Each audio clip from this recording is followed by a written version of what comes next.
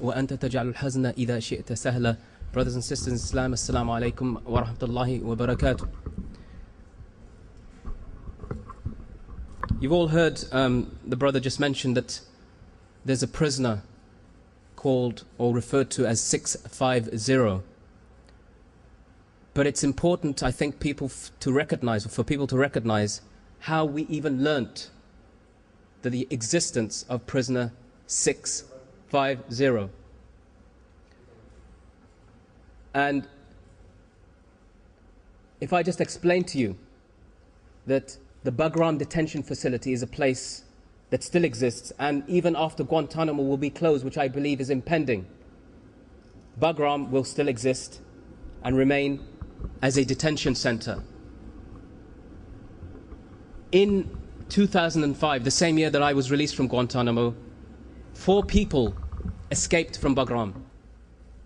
Four Muslim men, one an Iraqi, one a Kuwaiti, one a Saudi, and another a Syrian, escaped from Bagram.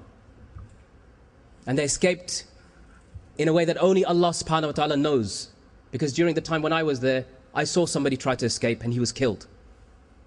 In front of my eyes, he was killed.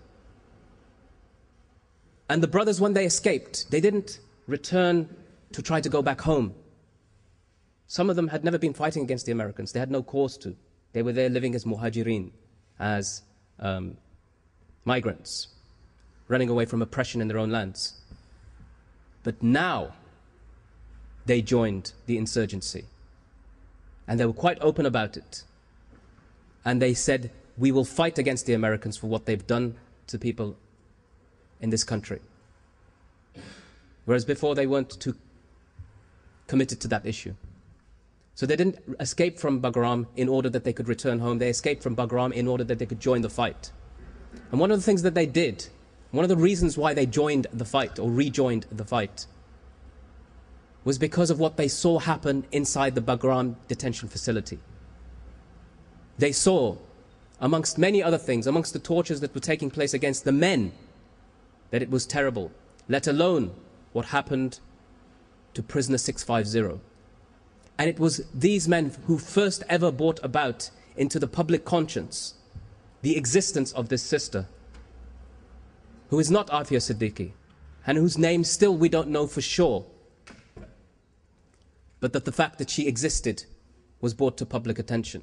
And the way they did this, despite all of the evident fear of fugitives wanted by the world's most powerful military machine, doing interviews with Al Arabiya television channel, explaining in detail how they escaped and the manner of their escape and what they witnessed whilst they were held in Bagram. And one of the things that they said was that they heard the screams of a woman daily. The screams of a Muslim woman daily being abused by American soldiers, some of whom were perverted. The same screams or similar screams I used to hear when I was in Bagram of a woman being abused. And I don't know to this day if it's the same woman, if she was the same woman, whether it was 650, whether it was somebody else.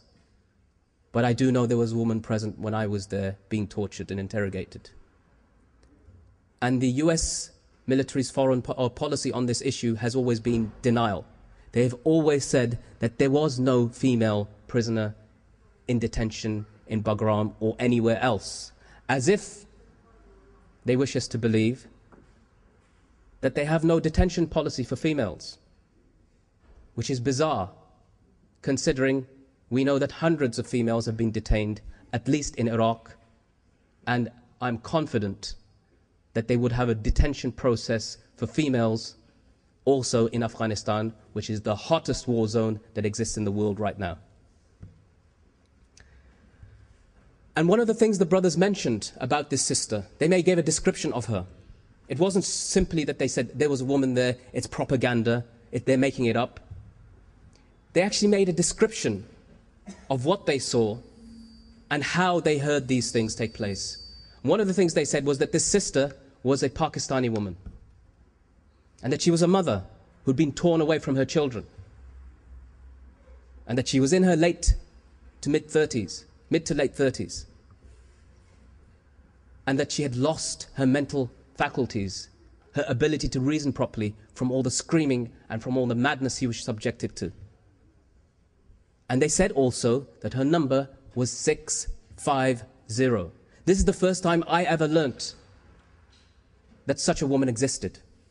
Not from the International Committee of the Red Cross, not from Amnesty International, or even from Cageprisoners, or from any human rights organization, not from the British or the Americans, did I hear of the existence of this woman. I didn't hear it from anybody other than these four fugitives, captives, mujahideen, asra, who came at great risk to their own selves, two of whom have been, as a result of that, re identified. One was recaptured and one was killed, and two are still fighting. And these men, out of the whole world, came forward to speak about the case of this woman. And where was the rest of the ummah? So why does it have to be that the same men who take on the responsibility of hijrah, of jihad, of struggle, of imprisonment, of escape, of torture, of cruel, inhuman, and degrading treatment, are the same ones who carry on their shoulders the huge burdens of this ummah while everybody else is asleep. Why is it the same people every time? The same people. What does Allah subhanahu wa ta'ala say about them? Say about them? من المؤمنين رجال صدقوا ما عهد الله عليه فمنهم من قضى نحبه ومنهم من ينتظر وما بدلوا تبديلا These men aren't terrorists. These men are people who defended the rights of ordinary Muslim women. They didn't go around invading people's countries. They didn't carry out suicide bombing attacks against individual civilians. They were oppressed and they were persecuted. And despite that persecution, they came along and Allah said of them, from amongst the believers are men who are truthful to their covenant with Allah. And amongst them are men who have gone no longer with us. And amongst them are men who are still there and they never changed one iota.